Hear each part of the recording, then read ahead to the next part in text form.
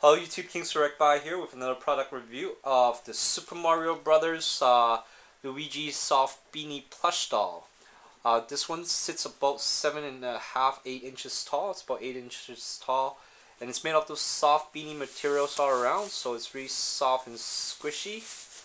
So there you go, the Mario uh, Super Mario Brothers Luigi's Soft Beanie Plush Doll. Uh, please like, comment, and subscribe.